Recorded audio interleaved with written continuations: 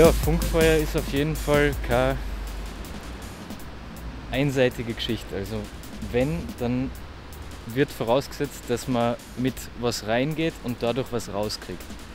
Es ist sicher nicht, dass man sagt, ich gehe rein und dann kriege ich alles und ziehe nur raus und liefere nichts zurück. Also das ist der schlimmste Fall, der passieren kann.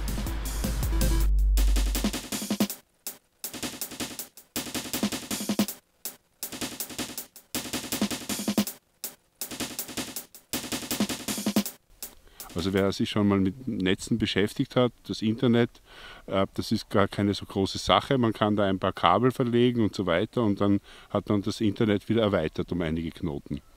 Und äh, bei den Kabeln natürlich gibt es Beschränkungen und Begrenzungen und äh, mit dem drahtlosen Medium, da kann man eigentlich dann eben auch, äh, was man mit dem Kabel nicht kann, schon auch mal eine Straße oder ein, ein Haus äh, von Haus zu Haus und so weiter überbrücken.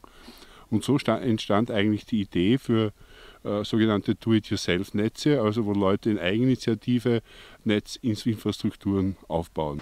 Ja, Funkfeuer ist natürlich gratis Internet. Also wichtig ist bei uns eben die, die, das Partizipative, dass man mitarbeitet, dass man selbst dazu was beiträgt und nicht einfach nur den Router ins Fensterbank stellt und da jetzt gratis Internet bezieht. Das Internet ist ja nur ein Bonus für das Netzwerk, um das Netzwerk zu fördern.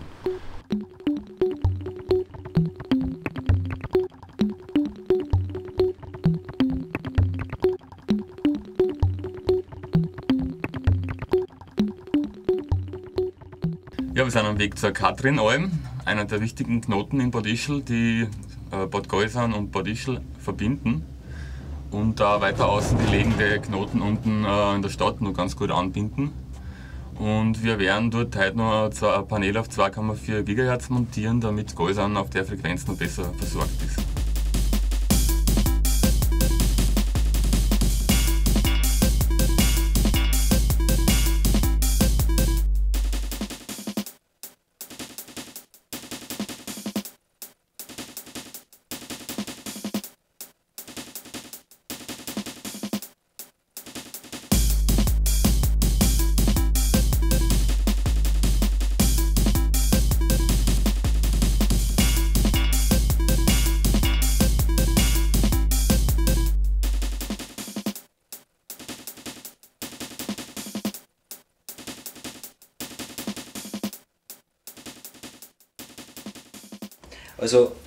Ist für mich in erster Linie eine Sache, die mir ermöglicht, mich mit anderen Menschen zu vernetzen, andere Leute kennenzulernen.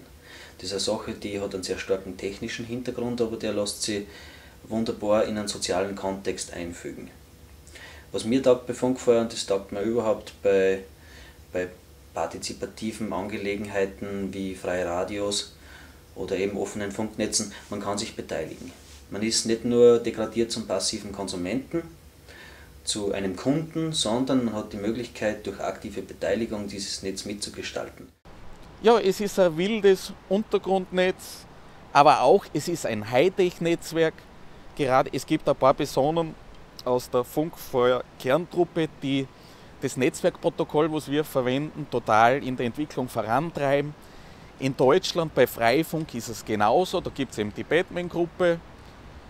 Ja, es ist experimentell, es ist Hightech, es ist Community, es ist interessant.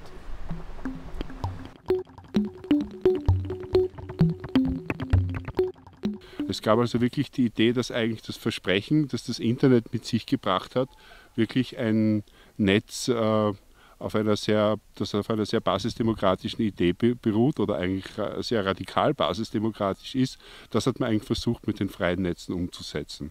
Das heißt, dass wirklich jeder Knoten in diesem Netz ein unabhängiger Knoten ist, der auch von den Knotenbesitzern selbst betrieben wird. Dass es also keine zentrale Organisation gibt, die dieses Netz betreibt, sondern lauter einzelne Knoten, die durch verschiedene Absprachen miteinander zusammenarbeiten und so aber auch ein großes Netz ergeben. Und das war schon die Idee dabei, dass also viele Knoten zusammen ein gemeinsames Netz ergeben, wo alle Teile dieses Netzes wiederum im Besitz von unabhängigen, eigenständigen äh, Inhabern sind. Und das macht eigentlich die Qualität eines freien Netzes aus.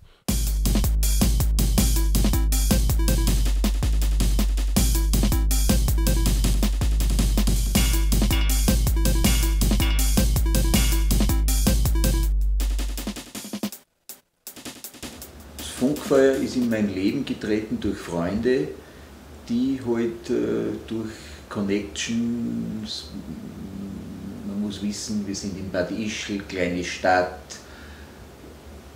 wo kann sowas herkommen, wo es vielleicht nur in großen Städten wie Berlin, Wien, vielleicht Graz existiert. Und da gibt es halt so Schnüffler, nenne ich die, die schauen dort und da, was gibt es Neues auch. Vielleicht könnte man das da auch ein bisschen was äh, äh, für eine kleinere Infrastruktur adaptieren. Und äh, solche Freunde habe ich zum Glück und in Gesprächen ist mir das nahegebracht worden, dass das für mich eine Möglichkeit wäre. Und so ist es dann tatsächlich auch passiert.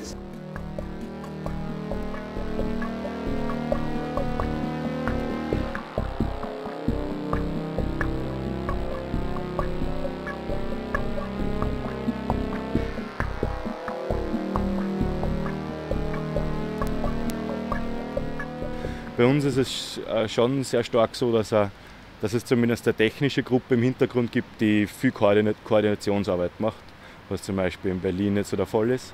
Allerdings ähm, haben wir sonst nicht wirklich viel Kontrollorgane, die jetzt irgendwie genau schauen, wer macht was wie. Das sind Knotenbetreiber, wenn irgendwer ein Problem hat mit einem anderen, dann soll der mit dem direkt in Kontakt treten. Und darum geht es bei uns. Es ist nicht da irgendwie eine zentrale Instanz, über die man da gehen muss.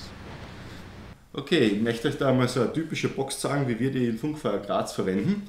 Das sind so Alu-Boxen, kriegt man recht billig zum Kaufen. Alu ist natürlich fürs Dach um einiges angenehmer als äh, Kunststoffboxen, weil die viel stabiler sind und gegen UV-Strahlung geschützter sind.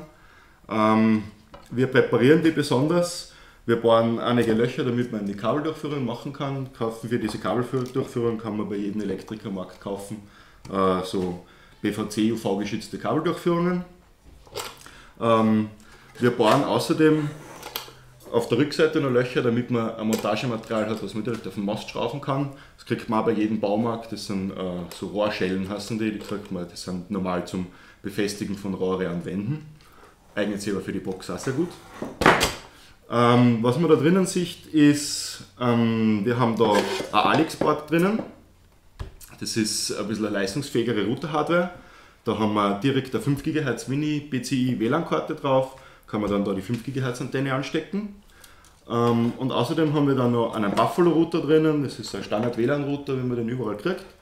Haben da über das spezielle Antennenkabel auf 2,4 GHz ist dieser Router ähm, diese 2,4 GHz Antenne angeschlossen. Und das montiert man alles so, wie es sich am Mast und damit hat man einen recht stabilen und hoffentlich langhaltenden Funkfeuerstandard.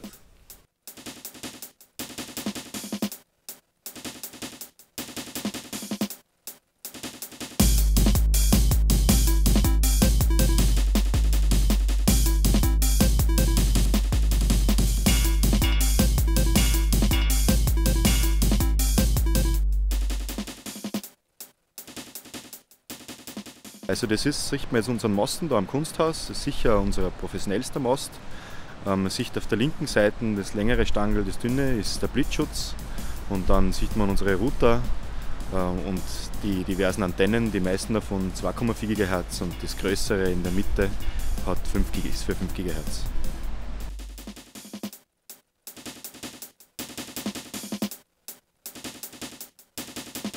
Wie kommt man zu Funkfeuer?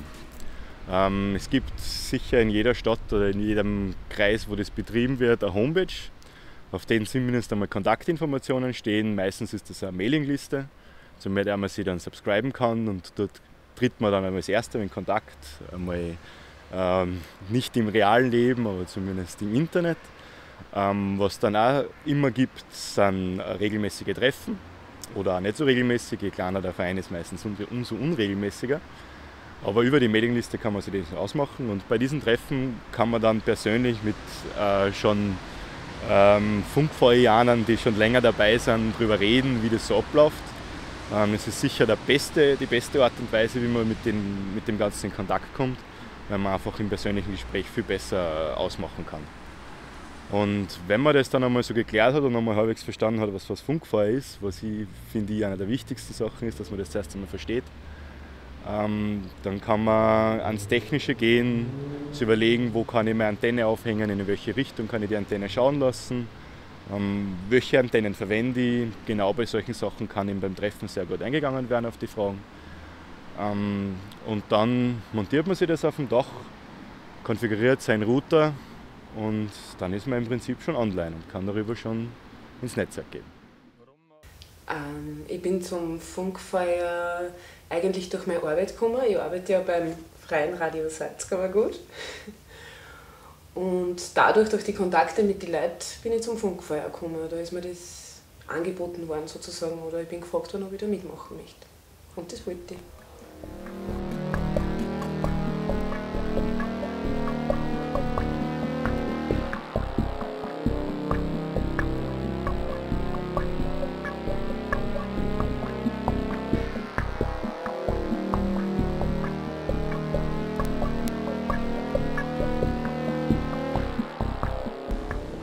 Funkfeuer hat sich eigentlich aus einem Netz entwickelt, das im VBS entstanden ist, wie eine Backbone Service, was irgendwie ein Zusammenschluss von mehreren Providern war.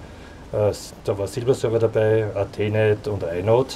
Die haben das VBS gegründet und relativ bald haben die immer äh, äh versucht, neue Übertragungswege für, für, für das Internet zu finden. Ja.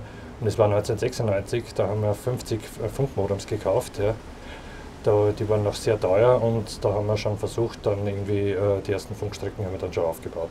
Von 96 bis 98, 99 ist dann das erste Netz in Wien entstanden.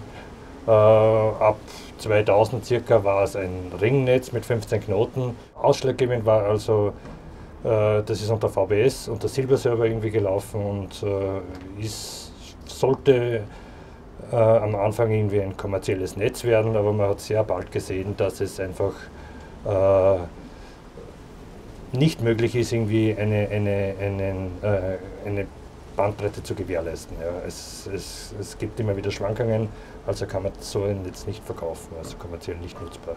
Aber für Funkfeuer und für freie Netze ist es ideal geeignet. Ja. Der Übergang zum freien Netzwerk ist 2002, 2003 passiert. Äh, ich bin von Silberserver weggegangen und das Netz ist ein bisschen in der Luft geschwebt. Ja. Das ist irgendwie äh, ist dann auch zum Funkfeuer geworden, zum Funkfeuer AT. Das ist über äh, und ich glaube, Tim Deichenberg, Roland Alton Scheidel noch, die, glaube ich, wollten die da, da auch ein kommerzielles Netz machen, hat aber auch nicht funktioniert. Ja. Und dann hat man gesagt, habe ich gesagt und so, so jetzt geben wir das einfach irgendwie äh, komplett frei. Ja. Alles ist irgendwie frei verfügbar. Ja. Die, die Knoten, die es gibt oder so, die, die kann jeder benutzen. Und so ist dann äh, Funkfeuer entstanden. Ja. Zum Funkfeuer, wie ich dazu gekommen bin, ähm, eigentlich dadurch, dass ich gefunden worden bin. Das heißt, ich habe immer schon oder relativ lange Funkstrecken gehabt auch bei meinem Haus zu einem Freund Wireless LAN Funkstrecken und dann sind eh, der Mario ist dann zu mir mal herangetreten, weil er gesehen hat, dass ich ein WLAN habe. Ob ich nicht zum Funkfeuer beitreten will, obwohl ich das gar nicht kennt. Aber wie mir das dann ein bisschen angeschaut habe im Internet und so weiter, äh, hat mir das eigentlich ganz gut gefallen, der Gedanke und das, was dahinter steckt. Und ja, so bin ich zum Funkfeuer gekommen.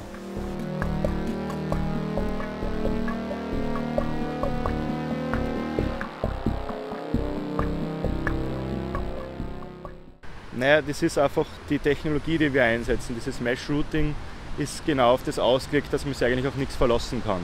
Und das ist versucht ständig irgendwie den besten oder zumindest irgendeinen Weg zu finden.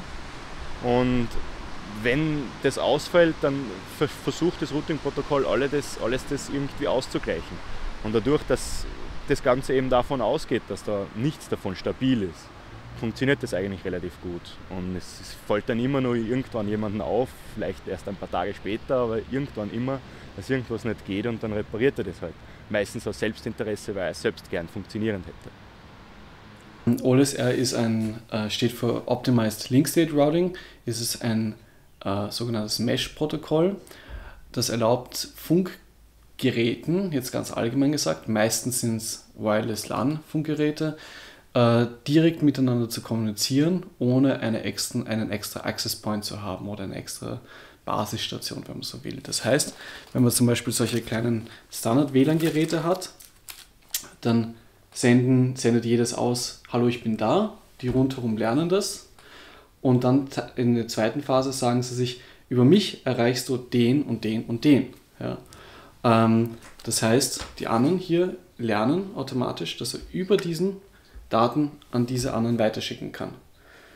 Und was dadurch entsteht, ist ein Netzwerk, das autonom äh, existiert, das sich selbst dauernd neu formiert, das theoretisch auch mobil sein kann.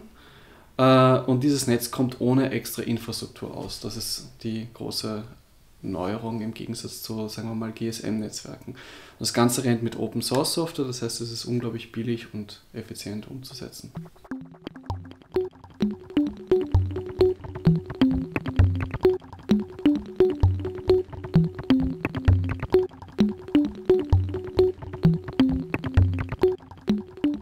Also wir gehen jetzt da in den Keller des Spektrals. Das ist ein Kulturverein in Graz, der Funkfeuer Graz sehr unterstützt.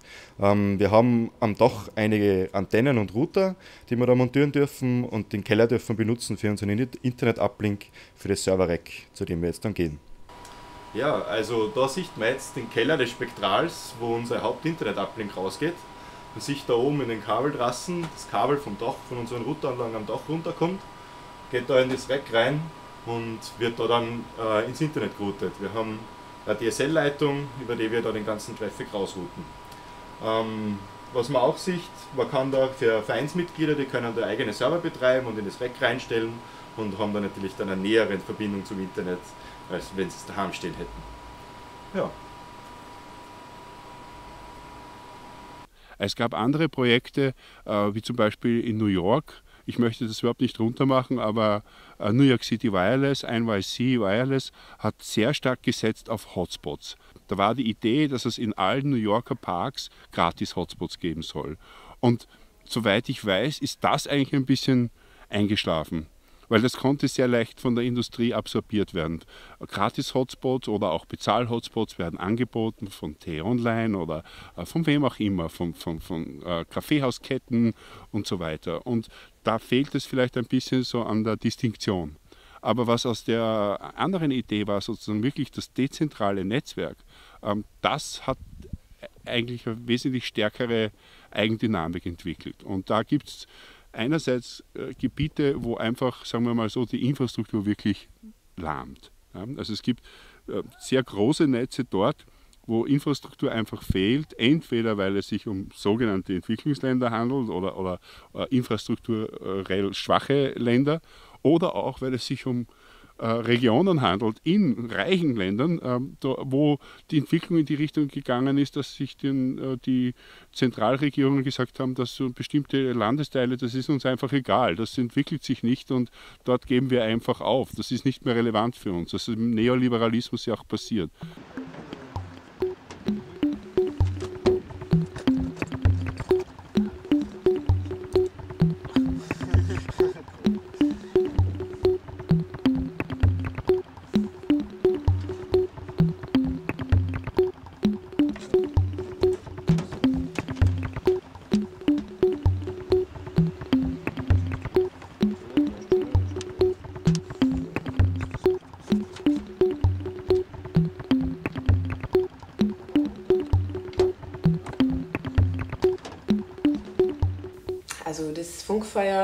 Kleines, feines Netzwerk bedeutet für mich zum Anschauen Unabhängigkeit. Ich bin in letzter Zeit zweimal übersiedelt und da ist zweimal das Funkfeuer mit mir übersiedelt und beim dritten Mal kann ich mir vorstellen, dass ich schon selber aufbaue.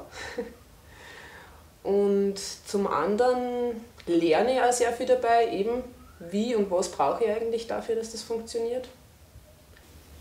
Mit denen in, in Zusammenarbeit ist es uns gelungen, auch beim Radio sozusagen aus einer Veranstaltungslocation in Bad Ischl, sprich vom Sirius Kogel, äh, Konzerte direkt ins Radio über Funkfeuer zu übertragen. Und das ist aus mehrerlei Hinsicht ganz interessant, weil äh, wir können sozusagen ganz konzentriert in der Region darstellen, welche Möglichkeiten äh, offene Bürgermedien ermöglichen, welche Möglichkeiten offene Bürgermedien anbieten.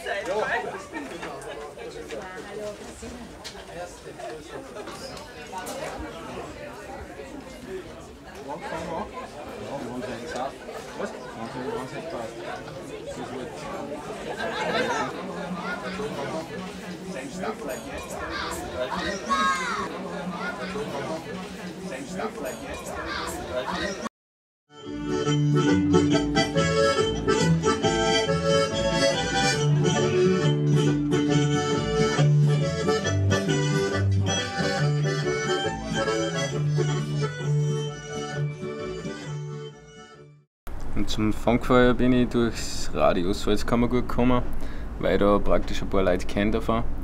Und die haben mir das eben angeboten, dass ich da dazugehen kann. Und ist eine super Einrichtung für mich praktisch. Und glaube ich ein guter Stützpunkt zum Siriuskugel.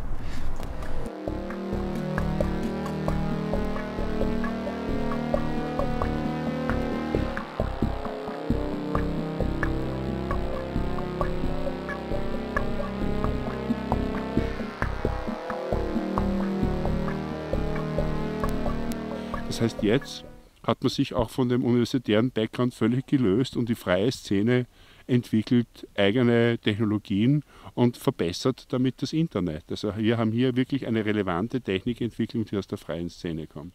Das andere ist, dass es einfach gewachsen ist, international gewachsen ist. Es hat seither eigentlich, es gibt immer wieder Wellen, immer wieder sind freie Netze in. Jedes Jahr geht das irgendwie dann auch durch die Presse, nicht nur die Internetfachpresse, dort sind sie sowieso dauernd, aber auch durch das Feuilleton oder durch die äh, verbleibenden Reste einer Art äh, Medienkritik oder so, wo dieses Thema immer wieder aufkommt. Äh, die Netze selbst sind gewachsen, sehr stark im gesamten ehemaligen Ostdeutschland zum Beispiel, also äh, so weit man da erkennen kann, sind das sehr aktive Gruppen, auch in Leipzig, in Dresden und in kleineren Städten, auch in Österreich. Funkfeuer gab es eigentlich sehr früh auch schon, aber das hat sich auch gehalten und weiterentwickelt und auch in der Entwicklung mit den Mesh-Networks ist Funkfeuer jetzt auch international anerkannt als eines der wichtigsten äh, Netze, das da auch äh, sehr gute Arbeit geleistet hat.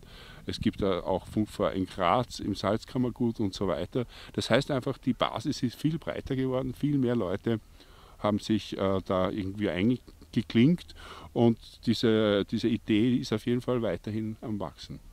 Naja, ich, ich glaube, in Funknetzen liegt schon eine Zukunft. Ja, eine Zukunft. Äh, es muss nur alles viel kleiner werden und viel engmaschiger. Ja.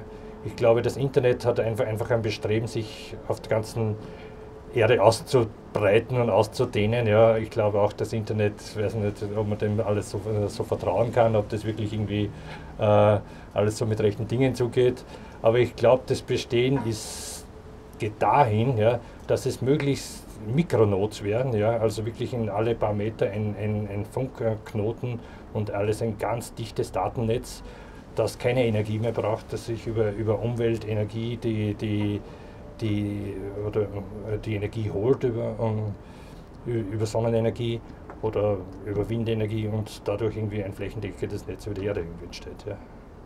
Wir haben unglaublich viel erreicht, glaube ich. Äh, die jeweiligen Funkfeuernetze überall haben sehr, sehr viel erreicht. Ähm, ich glaube, wir werden schon langsam, jetzt eigentlich nach ein paar Jahren, richtig international auch gesehen. Äh, also die IATF, das ist die, eine der größten Standardisierungsorganisationen im Internet, äh, beginnt jetzt schon langsam zu sehen, dass es sowas gibt und dass das wirklich funktioniert und dass das wirklich ein paar Verrückte in Österreich und in Deutschland geschafft haben, das zu machen. Und wir werden schon langsam sowas wie ein Vorzeigebeispiel. Ja. Ähm, ich denke, das ist aber wie bei immer bei sowas, es gibt die erste Welle von Avantgardisten und äh, Experimentatoren und dann irgendwann kommt das in Produkte rein und wird so Mainstream. Das wird irgendwann passieren, ja, in der einen oder anderen Form. Wie, weiß ich noch nicht genau. Äh, es, es zeichnet sich ab, dass die IEEE etwas schafft, ja, Äh, das skaliert per Standard im Moment auf 32 Knoten, das ist nicht sehr viel. Aber ähm, das Thema Mesh ist präsent und braucht sicher noch einiges an Forschung, aber es, es kommt. Also es ist, glaube ich, nicht abgeschlossen, aber es kommt die kleinen Communities, die machen das eh schon super. Ich glaube, die müssen einfach weitermachen. Das Programm ist da, sozusagen. Das Programm besteht darin, mehr Teilnehmer, Ausbreitung. Es geht auch wirklich um den Face-to-Face-Kontakt, Workshops, Meetings, die Verbindung von der Technologie mit dem Sozialen, das zu betreiben, aber auch die Mittel des Netzes zu benutzen, diese vielen Wikis und, und, und so weiter, die da entstehen und diese Plattformen, die sich immer besser vernetzen. Ich denke, da gibt es eigentlich gar nicht so unbedingt jetzt da die, irgendeine Krise oder so, sondern da geht es darum, dass man das, was da besteht, dass das weiter aufbaut, weiter wächst und dass man vielleicht eben den Fehler vermeidet, dass man glaubt, es wird jetzt sozusagen morgen äh, die Welt dominieren in irgendeiner Form oder so.